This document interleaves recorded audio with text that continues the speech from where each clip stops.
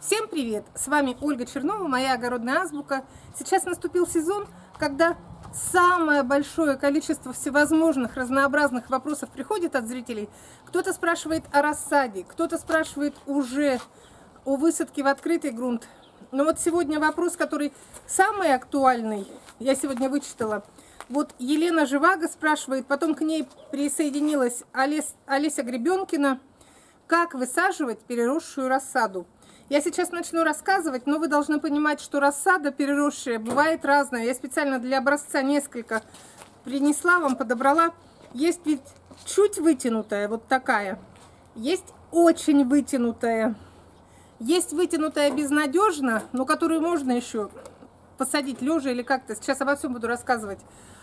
А есть вытянутая такая вот, которую уже нельзя в таком виде не высадить, не вырастить и с ней нужно поступать радикально, то есть резать. Начнем с вытянутой немного.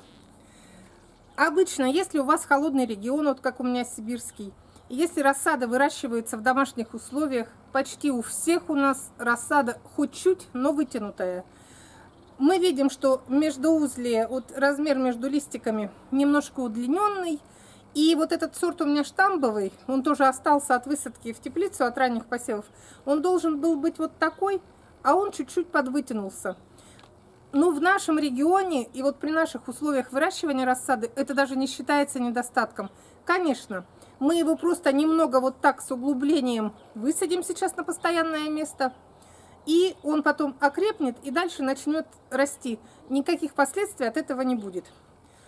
Чуть сложнее но не забывайте, что это я держу вот сейчас детерминантный сорт штамбовый. Чуть сложнее с рассадой такого же, например, возраста, но сорта, которые индетерминантные и высокорослые. Вот этот намного позже посеян, чем тот, но он уже видно, что он вытягивается. Они, высокорослые томаты, они с самого-самого рождения сразу пытаются нарастить вот этот рост. И получается вот такая рассада. Вот она подвытянувшаяся, все.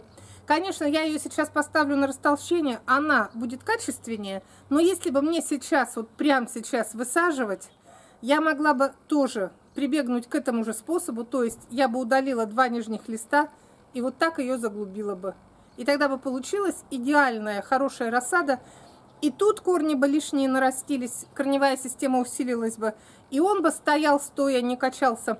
И если некоторые говорят, что удалив два листа и заставляя растение наращивать вот здесь дополнительные корни, мы как бы тормозим и отодвигаем созревание плодов, но это каждый выбирает сам. Или вот такую будылыжину оставить, чтобы она вот так качалась на ветру – или заглубить и дней на 5 на 6 пусть она притормозит.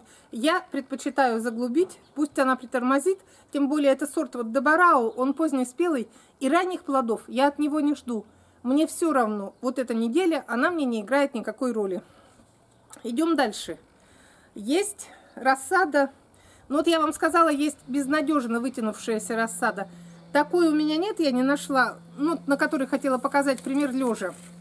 Если вот такая рассада, вот сейчас, как у меня, вот такая высокая, но она еще стоит, это не безнадежно вытянувшаяся, это другой подтип. Вот такую рассаду в прошлом году я высаживала через кол.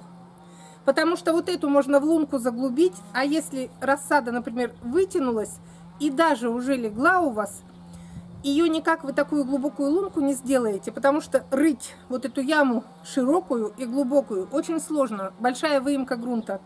Я показывала в прошлом году, тут я поступаю так. Я также убираю нижние листики, вот эти вот, которые будут мешать. Вот мне надо заглубить, например, наполовину.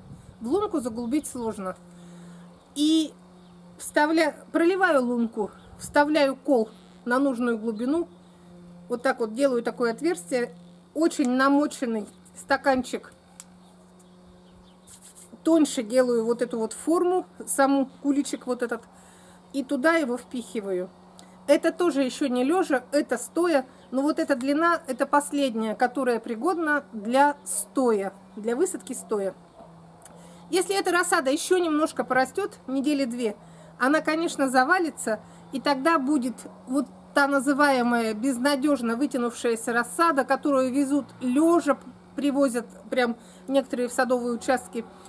Я думаю, что в этом году будет много таких ситуаций, потому что люди сейчас не могут попасть в свои сады, огороды, везде дороги закрыты, и много, много будет у людей рассады, безнадежно вытянувшейся, которую придется высаживать лежа. Это тоже способ очень распространенный у нас, особенно в холодных регионах, где мы подолгу ждем, когда потеплеет земля. Ничего страшного, такие длинные, роют люди канавки. Есть специально, я и показывала, видео снимала, и много, есть много видео обучающих, как высадить лежа. Высаживают лежа, оставляют вот эту макушечку, остальное все присыпают. Он потом поднимается, начнет расти. Тут тоже по всей длине наращивается корневая система, и некоторые специально используют этот способ высадки для того, чтобы увеличить корневую систему, чтобы растение было посильнее и покрепче. Но есть у нас рассада, добрались до самого интересного случая, которую не стоя, ни через кол, ни лежа мы высадить не сможем. Обычно такая рассада получается в каких случаях? Вот у меня я посеяла для получения раннего урожая для высадки в теплицу. Высадила я еще в конце марта. Но так как я сею всегда с запасом, я взяла себе определенное количество, высадила – Остальные остались в лотке. Я их даже распикировывать не стала, потому что я знаю, что мне их посадить некуда, для них места в теплице нет. До открытого грунта они не дотянут, потому что до открытого грунта ждать еще полтора месяца. Они уже все с цветочными кистями, все здоровые. Я, конечно, такую рассаду применять не буду. Вот зачем она стоит, я не знаю, просто рука не поднимается выбросить. Я показывала, что делают с такой рассадой. Вот такую рассаду можно использовать для выращивания, только резать. Вот смотрите, какая она была длинная, она бы сейчас уже была вот такая, вот. Просто из одного сеянца, вот из одной рассады, обрез... делят на две части. Верхушку нужно поставить в воду, укоренить, удалив нижние два листа, чтобы листья в воде не болтались. Вот такая. А нижнюю часть посадить в отдельный стаканчик – и выращивать через пасынок. Все очень просто. У кого рассада померзла или у кого рассады мало не взошло, можно с 10 сделать 20, с 30 сделать 60. И на крайний случай, если у вас уж нет никакой рассады, вот этот вот радикальный способ через резание, резать рассаду, он тоже подходит. И тоже люди выращивают. Вот она уже цветочная кисть. Даст корни через неделю. Можете через полмесяца уже высадить она зацветет и также будет дальше расти и плодоносить. Еще раз этот метод подтверждает то, что растение очень живучее томат. Оно и нижняя часть даст урожай, и верхняя часть даст урожай. Но какой размер урожая, тут я судить не берусь, потому что кто-то таким способом постоянно выращивает, то есть высевают мало рассады, потом специально половинят, укореняют, выращивают через пасынок. Хотите в один ствол – один пасынок оставите в два ствола, два пасынка, остальное все убираете. Этот способ тоже очень интересный, но я им пользуюсь редко, потому что у меня много таких вот ну, полноценных, которые уже в стаканчиках распекированные, большая часть уже высажена. Но вот это ответ на вопрос, как высаживать переросшую рассаду. Все зависит от того, насколько она у вас переросла и как она безнадежна. Все, до свидания. С вами была Ольга Чернова.